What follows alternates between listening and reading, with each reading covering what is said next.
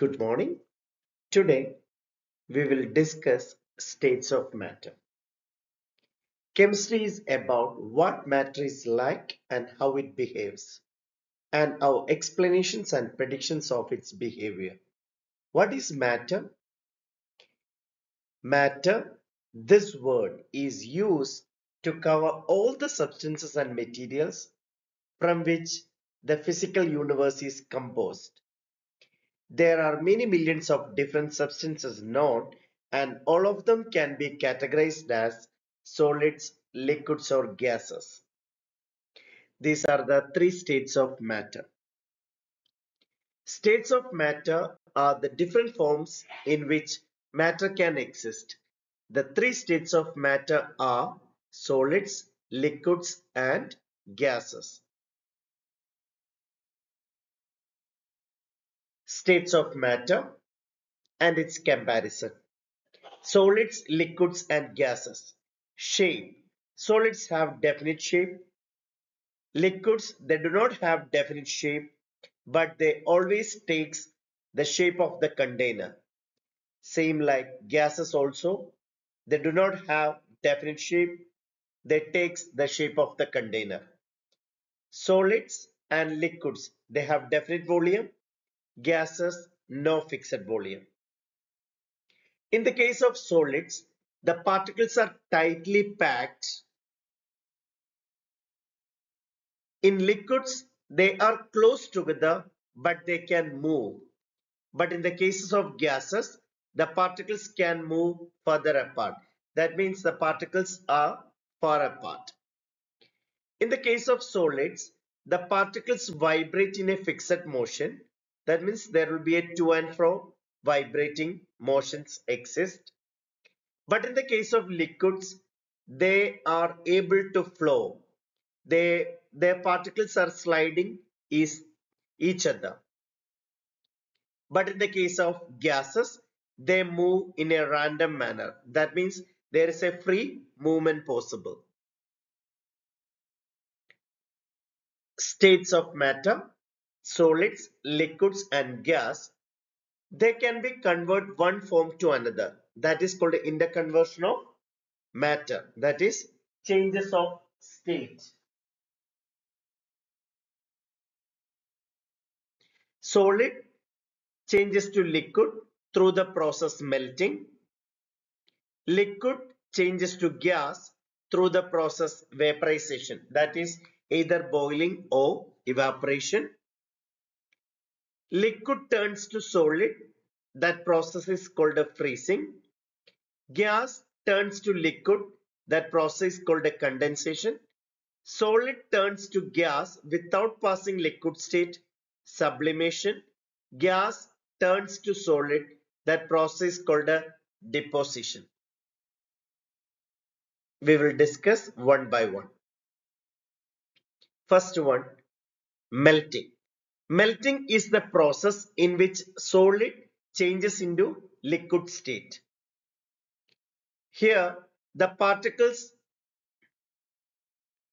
needs a certain amount of energy, then they changes to solid to liquid state.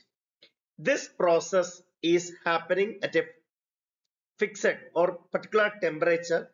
That specific temperature is called a melting point. Next one, freezing.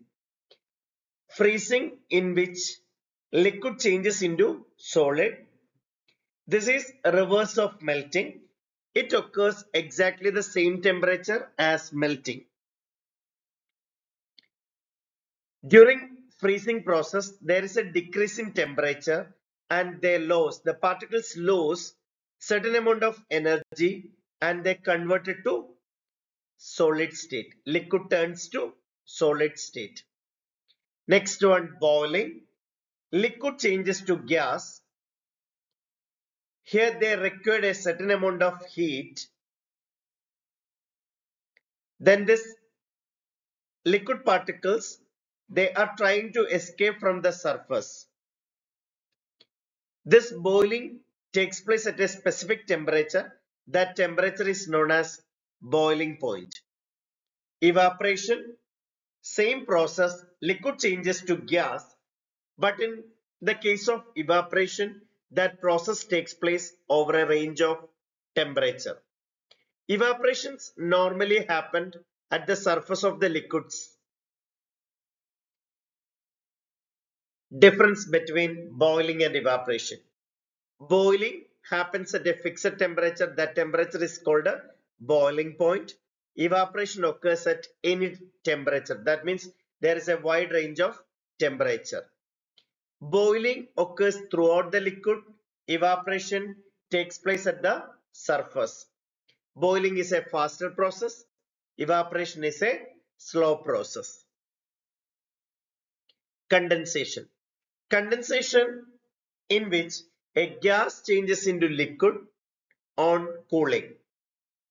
When gas is cooled, its particles lose energy and when they bump into each other, they lack the energy to bounce away again.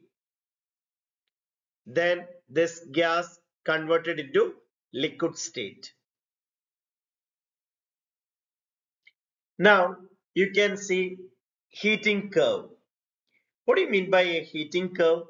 A heating curve is a graph that showing the temperature. You can see here the y-axis temperature of a substance plotted against the amount of energy it has absorbed. Solid turns to liquid. You can see there is a phase. That phase is called melting.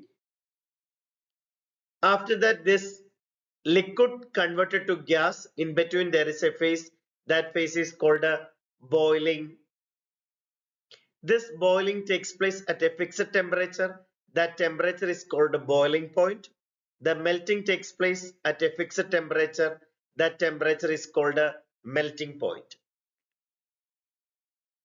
Here in heating curve, solid turns to liquid, liquid turns to gas. But in the case of cooling curve, it's a reverse process. Gas turns to liquid, liquid turns to solid. Look at this cooling curve. On cooling, the particles of gas move slower and slower and then the gas molecules start to contract. Then they closer together and it converted to uh, liquid state. Then this liquid changes to solid state that is cooling curve. Now diffusion. What do you mean by diffusion? Diffusion is the net movement of particles from a region of higher concentration to a region of lower concentration as a result of their random movement until equilibrium is reached. That means the intermixing of gaseous particles, simply you can say. Because of this diffusion, if you are using a bottle of perfume, the smell will be spread and when you are preparing a hot sizzling food, that smell spread from one area to another. These all processes based on this diffusion. The rate of diffusion is most rapid in gases because the particles are loosely packed, then liquids, and at last solids. Effect of relative molecular mass in diffusion. The rate at which the gases diffuse differs and depends on the gas's molecular mass. At the same temperature, molecules with lower mass, they move faster compared with the higher mass. Molecules with lower mass is spread through compared with the, a molecule with a higher mass. Now we move on to what will happen if pressure and temperature on gas. We are familiar that means gases are compressible by changing the pressure acting on them, their volume may be influenced. An increase in external pressure produces a contraction or decrease in volume. That means if you increase the pressure, the volume will be reduced. Because of that, the gas is compressed. A fall in external pressure produces an expansion or increase in volume, then the gas is said to be compressed. Then the gas is said to be compressed. Then what about volume? The volume of gas may also be influenced by temperature. For example, when you increase the temperature, the gaseous molecules attain more kinetic energy. That means gradually their kinetic energy increased. Because of the high kinetic energy, the particles move and hit on the walls of the container and this increases an internal pressure. In that way, their volume increases. When the temperature decreases, the gas molecules decreases the kinetic energy. Because of that, they decrease the internal pressure and their volume decreases. Diffusion means the intermixing of particles. That means the net movement of particles from a region of higher concentration to a region of lower concentration as a result of their random movement until the equilibrium is reached. The relative molecular mass, pressure and temperature, three of them will affect the diffusion.